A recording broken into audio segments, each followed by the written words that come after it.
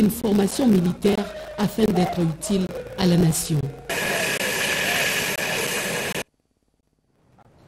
Le de la Communication et Médias porte-parole du gouvernement a lancé le jeudi dernier la campagne de mobilisation de la nation contre l'agression rwandaise. Patrick Mouyaya veut à travers cette campagne susciter le patriotisme de toute une nation et le soutien total aux FARDC engagés au front. Suivez un extrait du discours choisi par la rédaction. À travers cette campagne, nous allons apporter un soutien indéfectible à nos vaillants militaires qui défendent la patrie au prix de leur vie. Nous allons mobiliser les jeunes qui peuvent s'enrôler massivement dans l'armée. Nous allons susciter et exprimer la solidarité envers nos compatriotes déplacés victimes de cette guerre insensée. Nous allons travailler à consolider l'unité et la cohésion nationale autour des institutions de la République et du président de la République. Et nous allons nous assurer, à corps, à corps et à cri, et au prix du sacrifice d'assurer la défense de l'intégrité territoriale. Ce que nous ferons dans cette campagne contribuera sûrement à donner un peu plus de morale à nos militaires au front et à renforcer la détermination de ceux qui, au front diplomatique, travaillent pour mettre fin à cette insécurité. Nous souhaitons cette fois-ci que ce soit une fin finale pour que dans cette partie du pays, nous puissions vivre finalement comme nous devons vivre dans d'autres pays, en toute paix et en toute sérénité. Nous avons déjà démontré par le passé que personne ne peut prendre un centimètre de notre territoire. Je suis sûr que grâce à votre mobilisation, nous allons nous assurer de protéger ce que nous avons de plus précieux, la mère patrie. La RDC continue à être sur tous les fronts pour pacifier et sécuriser l'Est du pays. Elle a pris part à la 32e réunion du comité d'appui technique de l'accord cadre d'Addis Abeba qui s'est tenu à Nairobi au Kenya. Présent à ces assises, plus de 10 pays signataires ont condamné l'agression. Une réunion hautement sécuritaire pour la région de Grand Lac. C'est la 32e réunion du comité d'appui technique de l'accord cadre d'Addis Abeba tenue à Nairobi au Kenya. L'ONU, l'Union africaine, la CIRGL et la SADEC ont co-présidé cette rencontre. La quasi-totalité des pays signataires étaient représentés et la délégation de la République démocratique du Congo était conduite par les coordonnateurs adjoints du mécanisme national des suivis de l'accord cadre Patrick Mutombo Kambila, déterminé à défendre Mordicus, la RDC agressée par le M23 avec le soutien manifeste du Rwanda. Au cours de ces assises, Patrick Mutombo Kambila a démontré la fausseté des accusations du Rwanda contre la RDC sur le supposé discours de la haine. Preuve à l'appui, le coordonnateur adjoint du mécanisme national des suivis a démontré les efforts entrepris par le président de la République, Félix-Antoine Tshisekedi Chilombo, et l'ensemble du gouvernement congolais pour lutter contre le discours de haine d'incitation à la discrimination et à la violence dans la région en général, et la RDC en particulier, pays connu pour son hospitalité légendaire et qui régorge une redoutable mosaïque des cultures. Les deux processus, celui de Luanda et celui de euh, Nairobi, ont constitué les discussions de tout à l'heure. Nous saluons l'appel du président de la République aux forces vives de la nation pour que l'on puisse derrière lui se souder comme un seul homme afin de nous tenir en ordre de bataille pour bouter hors du territoire national les terroristes du M23 qui ne cessent d'être instrumentalisés par le Rwanda. Après son exposé enrichi en arguments solides et soutenu par des preuves tangibles, Patrick Mutombo Kambila a su obtenir de tous les participants la condamnation de M23 qui sème la terreur et verse le sang des innocents dans l'est de la RDC. Ces terroristes ont été sommés de mettre fin aux hostilités et de se retirer sans condition de toutes les positions en conformité avec le communiqué de Nairobi. La sécurité de la RDC est une affaire de tous. Les Congolais, toutes tendances euh, confondues, tiennent à la paix. C'est le cas du parti politique Avenir du Congo, parti cher à Dani Banza, qui a organisé une marche de soutien au FARDC. Reportage. Pour la cause de la nation, l'avenir du Congo ne peut être en reste. Le parti politique cher à l'ambassadeur Dani Banza Maloba a répondu présent à l'appel à la mobilisation générale lancé par les autorités provinciales du Haut-Katanga à une marche de soutien au FRDC et au chef de l'État Félix-Antoine Tshisekedi face à la guerre d'agression rwandaise sous couvert du M23 contre les territoires nationaux. Les militants de la cause se sont joints à la société civile, à d'autres formations politiques et au milieu des Hauts-Katangais au cours de cette marche partie du siège de l'Assemblée provinciale pour chuter par la grande place de la Poste. Introduit par le gouverneur Jacques Katoué, l'ambassadeur Dani Banzamaloba a dit aux nombreux choix réunis sur place que la guerre du Rwanda contre la RDC résulte de sa convoitise des ressources naturelles dont regorge le pays de Félix-Antoine Tshisekedi Chilombo.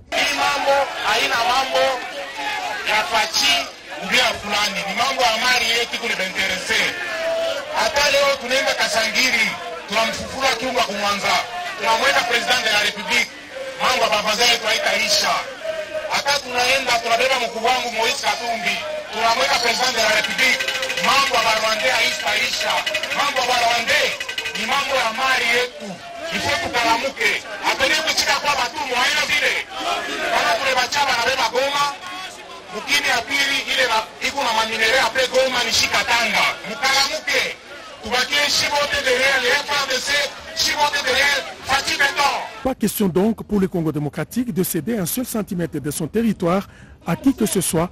La marche de ce jour est une preuve de plus que le Haut-Katanga général et le parti ACO en particulier, bien implanté dans la province qu'il préfère, reste rangé derrière les FRDC et leur commandant suprême, Félix-Antoine Tshisekedi Chilombo. Autre chose à présent, à l'Assemblée nationale, euh, sous euh, la conduite de son président Christophe Mbousso, a entamé le débat général sur la loi de protection des défenseurs de droits de l'homme, projet de loi initié par le député national Jean-Paul Seguiobé. Sylvie Moembo. Le contexte dans lequel travaillent les défenseurs des droits de l'homme en République démocratique du Congo nécessite l'adoption d'une loi relative à sa protection. Tout justement, la plénière de la Chambre basse du Parlement, conduite par le président Christophe Mbosoko Diapwanga, vient d'entamer le débat général sur la proposition de loi relative à la protection et à la responsabilité des défenseurs des droits de l'homme en RDC. Au cours de l'économie générale du texte, le député national Jean-Paul Seyi Yobé Bigira, initiateur de la dite proposition de loi, a rappelé qu'en 2011, le Parlement n'avait pas adopté définitivement cette initiative de loi. En mars 2017, le Sénat avait envoyé des textes à la Commission politique, administrative et juridique qui n'a pas abouti. Cette proposition de loi sur la protection des droits des défenseurs des droits de l'homme vise tous ceux qui, d'une manière ou d'une autre, participent à la promotion, à la protection et à la défense des droits de l'homme et des libertés fondamentales telles que proclamées par les conventions internationales et les lois du pays rencontrant les préoccupations du 22 intervenants. L'auteur de la proposition de loi, le député national Jean-Paul CIOB, a tenu compte de toutes les observations soulevées car son souci est de voir l'État congolais contrôler cet espace de droits de l'homme. La commission droits de l'homme dispose de cinq jours pour enrichissement du texte. Le 18e sommet de la francophonie s'ouvre en principe ce samedi 19 novembre en Tunisie. Le Premier ministre Jean-Michel Samaloukonde Kenge est sur place pour représenter le chef de l'État Félix-Antoine Tshisekedi Chilombo à ses assises de deux jours. Pati Tondouango. Le 18e sommet de la francophonie réuni ces 18 et 19 novembre 2022 à Djerba, en Tunisie, les chefs d'État et des gouvernements de l'espace francophone le Premier ministre Jean-Michel Samadou Konde Kengi est arrivé ce vendredi 18 novembre 2022 à Djerba pour représenter le chef de l'État Félix Antoine Tshisekedi Chilombo à ses assises qui se tiennent tous les deux ans. Et cette année, l'accent est mis sur la connectivité et les numériques comme vecteur de développement et de solidarité dans l'espace francophone. Accueilli au pied de l'avion par les ministres tunisiens du tourisme, des chefs de l'exécutif national, a dans sa suite le ministre de la communication et médias Patrick Mouyaya, du numérique Eberand Kolongele et de l'intégration régionale Didier Manzenga Mukanzo.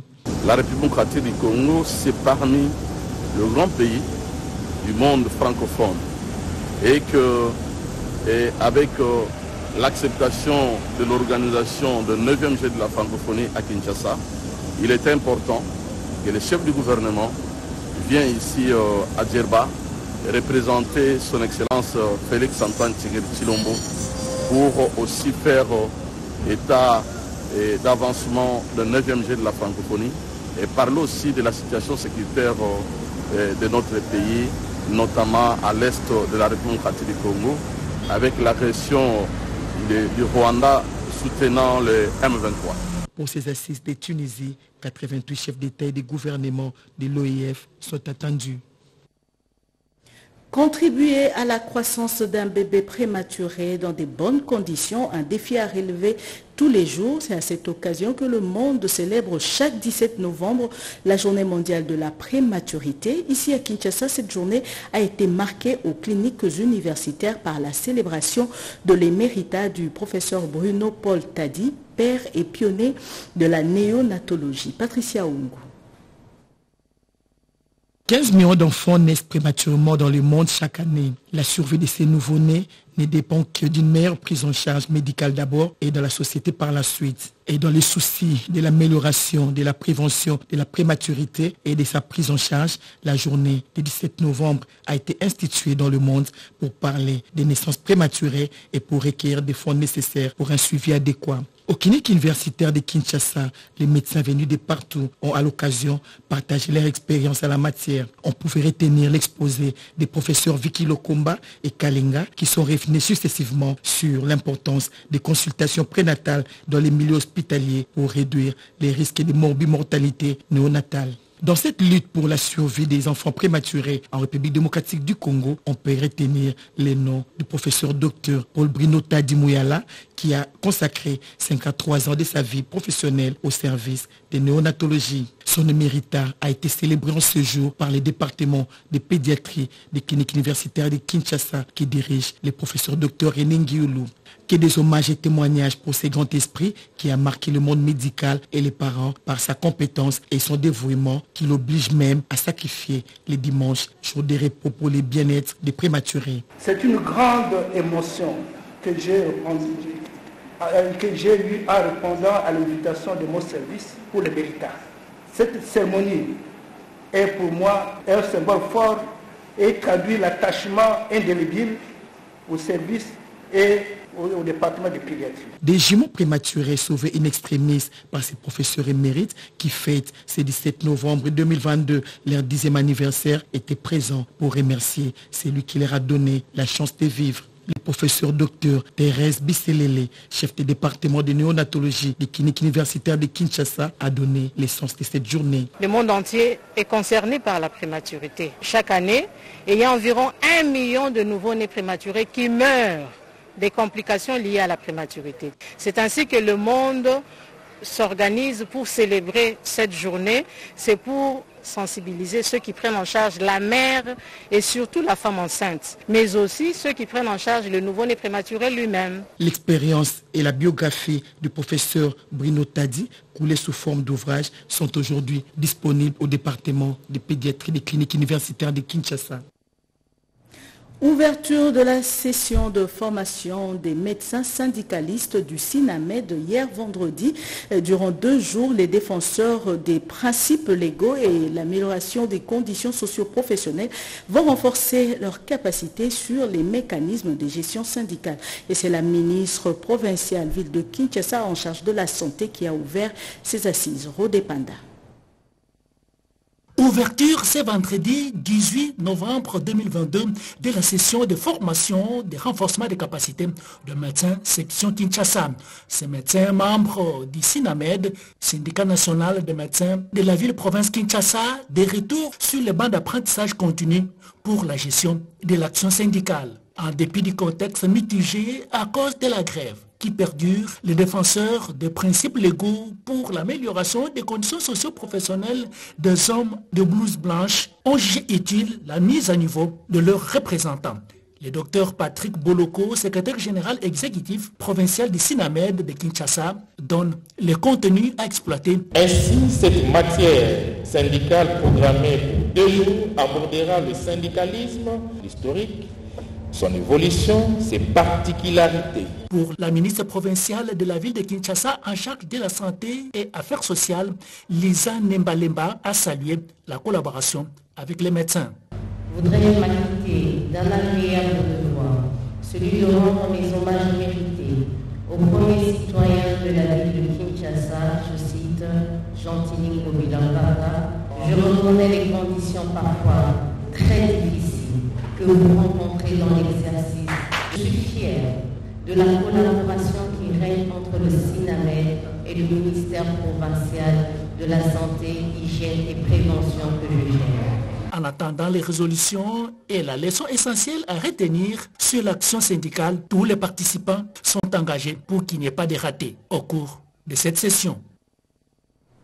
Après la présentation de sa lettre de créance à la présidence, le nouvel ambassadeur de l'État d'Israël en RDC a été reçu par la communauté israélite et les amis d'Israël. Question de souhaiter la bienvenue à ces nouvel ambassadeurs. José Baïtombo.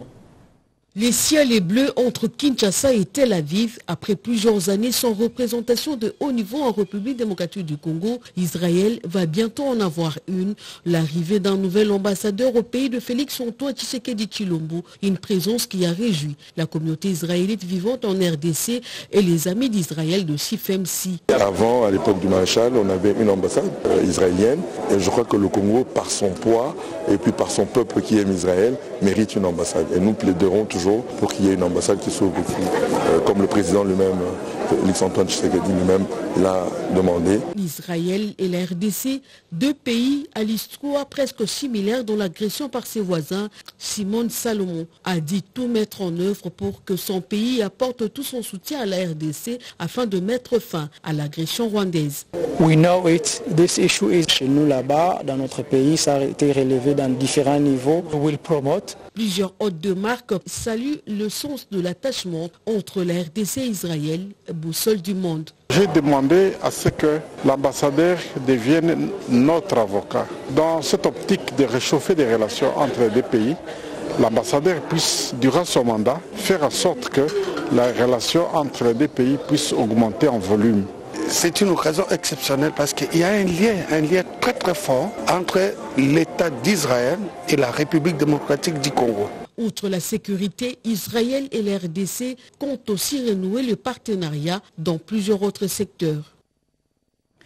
Lutte contre la migration et l'immigration clandestine, les agents de la DGM, Direction Générale de Migration, sont en, en formation de renforcement de capacité, nous dit Malumbela.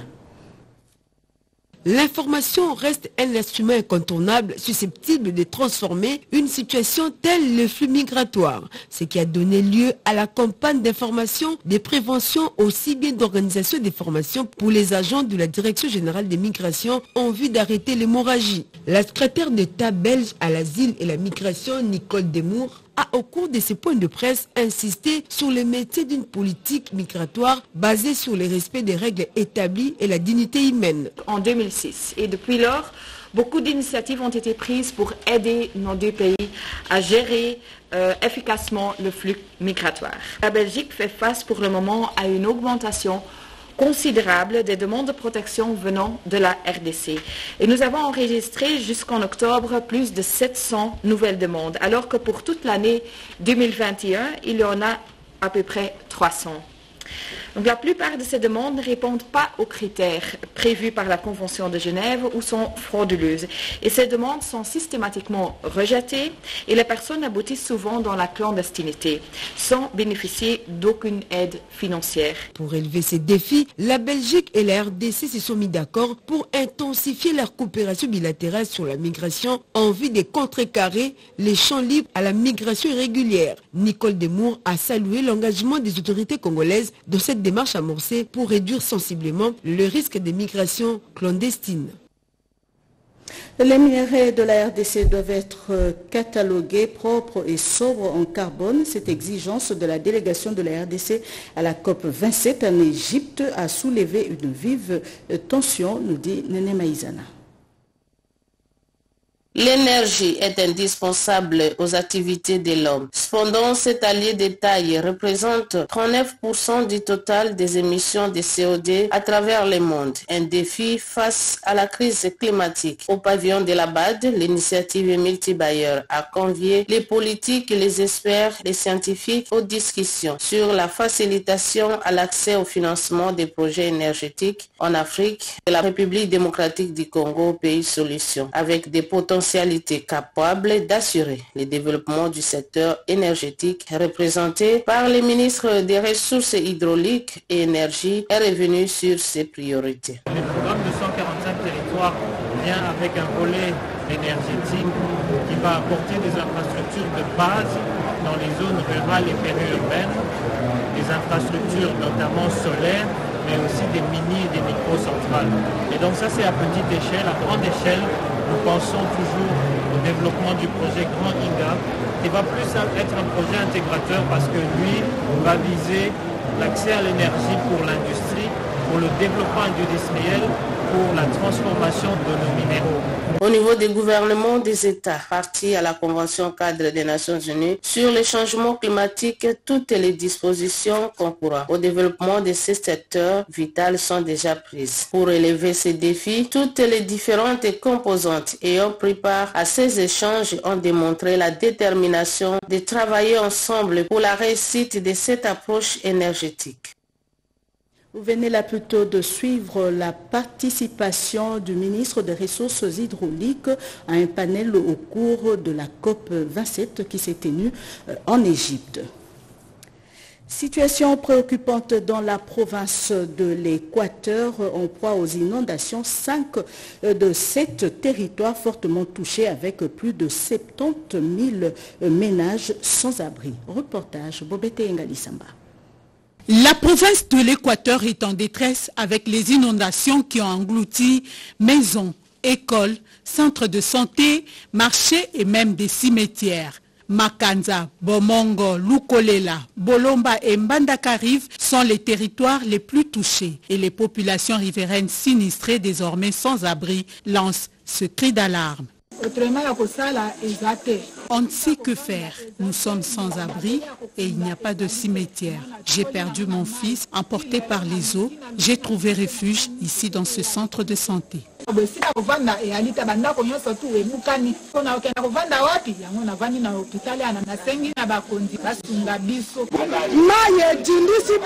Nous sommes tous engloutis, c'est dur. Les besoins sont immenses et les moyens mis à la disposition par le gouvernement provincial sont très limités, même si le geste compte, mais il faut plus d'efforts à la province, aux humanitaires, mais surtout à la République. Le Premier ministre Jean-Michel Samaloukonde a, dépêché une délégation de la primature à Kolwezi dans la province du Lualaba. Ceci intervient après l'étape de Lubumbashi dans la province du Haut-Katanga. Reportage. Après la province du Haut-Katanga, la délégation envoyée par le Premier ministre Jean-Michel Samaloukonde Kienge pour prendre part aux différentes marches de soutien au FARDC, selon l'appel lancé par le chef de l'État Félix-Antoine Tshisekedi Chilombo, est arrivée à Kolwezi, dans la province du Lualaba. Conduite par le conseiller spécial du Premier ministre Romilis Kissambe, cette délégation du chef de l'exécutif national a eu des échanges fructueux avec Fifi Masuka Saini, gouverneur de la province de Lualaba. Nous venons d'arriver à Kolwezi, dans la province du Lualaba, toujours euh, dans le cadre de l'appel lancé par son Excellence Monsieur le Président de la République, chef de l'État, son Excellence Félix Antoine Tshisekedi Chilombo, sur la mobilisation générale de la population pour le soutien au FRDC. Ici, euh, la marche euh, est programmée pour demain samedi. Et donc il était question, sur instruction du chef du gouvernement, son Excellence Jean-Michel Samal que nous puissions aussi nous rassurer à cette étape de Colosie que tout se passe correctement. Voilà l'objectif de notre présence euh, encore à Colosie après l'étape de Lubumbashi. La présence de ces membres des cabinets du Premier ministre dans différentes marches organisées dans les Grands Katanga prouve à suffisance l'intérêt que Jean-Michel Samaloukonde Kienge accorde à la reprise de la paix, gage de tout développement dans l'Est de la République démocratique du Congo. Fin de ce journal réalisé par Mamita Bangoulou et Jonathan Moubalama. Émile Zola, Redimpoy, Alain Galia était à la technique. Merci de nous avoir suivis. Retrouvez à 13h30 Eric Kabamba Congolo pour le prochain journal. Excellente suite de programme sur la RTNC.